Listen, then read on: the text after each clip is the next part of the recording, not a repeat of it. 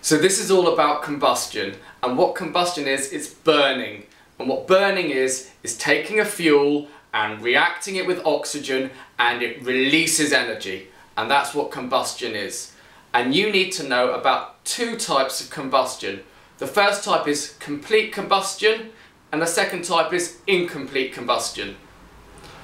So complete combustion, what is it? Well, I take my hydrocarbon fuel here and I've got lots and lots and lots of oxygen, plenty of oxygen, and it reacts with the oxygen and it releases lots of energy and only produces two products, which are carbon dioxide and water.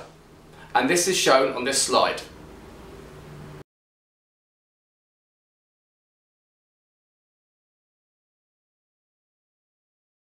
Now what happens if there isn't enough oxygen? Not enough oxygen can get back in. My chimney's blocked, my boiler vent is blocked, I can't get enough oxygen in.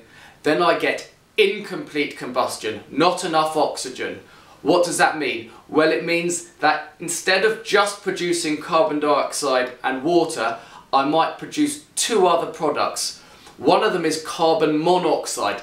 That's a poisonous gas that is deadly, that can kill you. The second one is uh, black sooty stuff, which is in fact carbon. So black soot, that's carbon, that's the same as burnt toast. And that can make, that can cause lung infections, that can make buildings dirty. We don't want that either. So what we want overall, we want complete combustion, gives out lots of energy, and we don't want incomplete combustion, which only gives a, a little bit of energy and creates carbon monoxide and soot.